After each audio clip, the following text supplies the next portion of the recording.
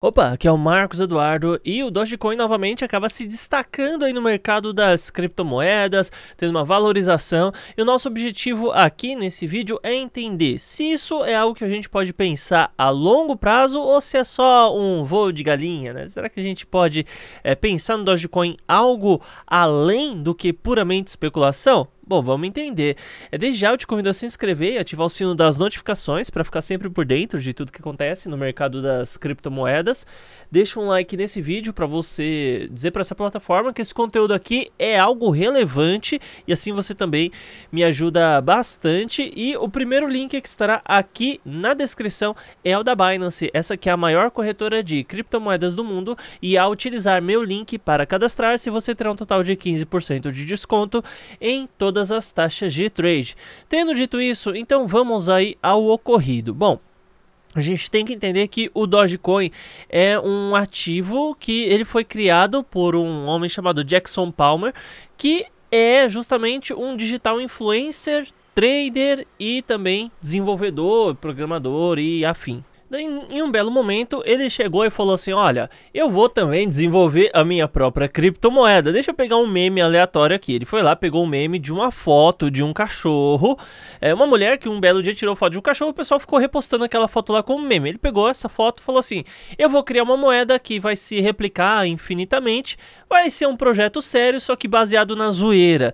E ele então decidiu fazer isso aí e meio que emplacou, né? Ele já tinha uma certa popularidade aí na internet e tudo e conseguiu emplacar a moeda dele. A moeda foi crescendo, crescendo, crescendo. A gente sabe o quanto um meme acaba tendo um poder gigantesco aí no, no não, não só no mercado das criptomoedas, mas no mundo todo em vários aspectos. É, as pessoas gastam muito mais tempo da vida com coisas que as entretenham e as mantenham é, e tragam alguma felicidade instantânea do que a, coisas a longo prazo, enfim. E, bom, enfim, o Dogecoin deu muito certo nesse aspecto. Só que em relação a fundamentos, né? Então, é uma moeda que é rápida, é uma moeda que é minerável, é uma moeda que pode realizar conexões aí com contratos inteligentes, mas a coisa que mais ou menos acaba por aí, tá? E eu digo isso por quê? Porque quando a gente olha todo o resto do mercado das criptomoedas, a gente tem muitas opções maravilhosas. É, e sem contar que o Dogecoin ele é uma moeda que infinitamente existe, tá? Então a todo momento são geradas novas Dogecoins. Então tudo é transparente, obviamente, mas é uma moeda infinita. E, então ela é o contrário do que você espera de um ativo criptográfico no sentido de ser deflacionário ou no mínimo estável em relação à quantidade de ativos do mundo. Então ele cada vez vai ter mais.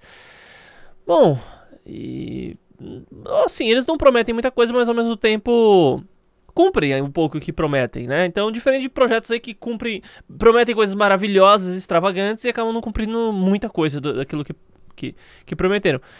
E daí veio o, o, Elon Musk, começou a falar bem do Dogecoin o tempo todo, meio que na zoeira, porque ele sabe qual que é o potencial de um meme.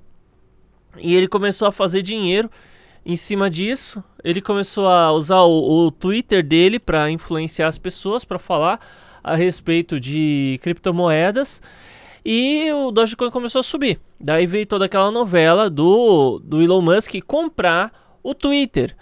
E daí, com a compra do Twitter, já haviam alguns planos do Twitter fazer integração com criptomoedas, isso antes do Elon Musk sequer cogitar a compra da rede social.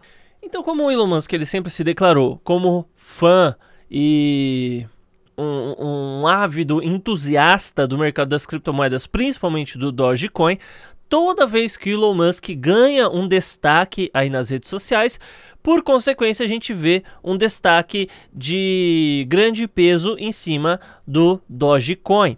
Então, a gente pode ver que recentemente houve uma fala aí, uma um pronunciamento do Elon Musk a respeito do, do Twitter, enfim, ele falou a respeito dos planos do, do Twitter, do, do, do Twitter 2.0. E a gente teve uma resposta no preço do Dogecoin. Como vocês Podem verificar aqui. Então, o Dogecoin ele teve uma alta. Inicialmente ele teve uma alta gigantesca, 172%. Daí depois a gente viu uma correção de 55%. Depois uma alta novamente chegou a 50% e estabilizou em cerca de 35% e até a hora de postagem desse vídeo aqui vai ter mais oscilação, obviamente. Enquanto isso, o Bitcoin, vamos, vamos olhar o Bitcoin aqui na Binance também. O Bitcoin, ele não chegou a fazer essa oscilação toda, na verdade o Bitcoin apontou só para baixo aí. A gente viu o Bitcoin, não está aparecendo na tela, né, mas o Bitcoin ele caiu 24%. Depois ele recuperou, ficou em torno de 5% mais alto o preço. Só que o que a gente tem que entender é que o Bitcoin, no geral, ele do seu ápice até aqui, ele chegou a cair 78% e agora está com 76%. Já o Doge, já o Doge está numa métrica, olha aqui, que ele chegou a cair 93%. Então, é uma queda mais, muito, mas muito mais expressiva que a queda do Bitcoin. E agora ele estabilizou em 87, ou seja, proporcionalmente ele está em uma queda maior do que a do Bitcoin. Então, o que eu digo para vocês a respeito disso é o seguinte. Gente, eu sinto muito se você é um holder, um entusiasta do Dogecoin, se você acredita no, no projeto e tudo mais, né? Mas eu sinto muito mesmo, mas o Dogecoin, ele não tem fundamentos para você ter uma utilidade maior do que uma forma de pagamento rápida ou uma utilidade que vai servir, no caso, para você minerar né? Porque até integração com contratos inteligentes tem que ser através de terceiros.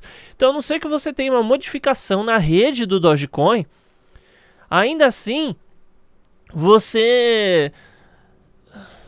Né, ninguém garante que tais modificações vão acontecer. E outra, você que é fãzinho do Elon Musk, ah, Elon Musk e Dogecoin, eu ganho dinheiro minerando Dogecoin. O Elon Musk é contra a mineração, sabia? Isso porque gasta muita energia elétrica. Ah, então quer dizer que o Elon Musk quer que o Dogecoin pare de ser minerado? Exatamente. Você fica lambendo o Elon Musk aí, você vai tomar, você vai tomar banho, você vai se lascar bonito. Você vai se lascar bonito indo atrás de Elon Musk. Fique esperto, Elon Musk só tá atrás do dele. Para de ficar idolatrando a esse malandro, você vai acabar igual mulher de malandro, entendeu? É isso que vai acontecer com você. Sabe o que é mulher de malandro? É quem gosta de apanhar. Se você gosta de apanhar, continua seguindo aí o, o Elon Musk. Então, o Dogecoin não tem potencial a longo prazo. O que, que vai acontecer em relação ao, ao Dogecoin? O padrão similar às altcoins, de acordo com a movimentação do Bitcoin. Então, o Bitcoin ele sobe um pouco, pum, altcoins sobem bem mais, dão aquela estilingada. Bitcoin cai um pouco, altcoins dão aquela estilingada para baixo. Então, não adianta, se o Bitcoin ele não fizer movimento de alta, movimento de alta do, do Dogecoin não vai prolongar, gente. Não adianta, não adianta chorar, não adianta fazer macumba, não adianta fazer reza, não adianta orar, não adianta fazer nada, velho. Não vai, não vai. Vai ficar dando esse voo de galinha aí, não, não vai, entende? Então agora, quando o Bitcoin engatar para estabilizar ou no mínimo subir, aí a gente pode ver Dogecoin indo muito além de várias outras criptomoedas com altas maiores do que a do Bitcoin. Mas até então, os outros ativos também estarão assim. E eu digo a você, você quer trabalhar com Dogecoin? Vai fundo, cara, seja feliz, mas saiba que isso daí não vai ter uma utilidade para a maior parte das empresas, para o investidor institucional. Não tem utilidade para o seu dia a dia. Vai, vai, assim, para o dia a dia até que tem se você usar como forma de pagamento, né? Ah, transação barata, pagar coisa e, e, ponto, acabou aí. Mas até então tem várias outras, centenas, talvez milhares de outras opções que são melhores. Dogecoin é um meme. Pelo fato de ter, ser um meme, é um apelo visual. É um meme que veio antes dos outros memes. É um apelo.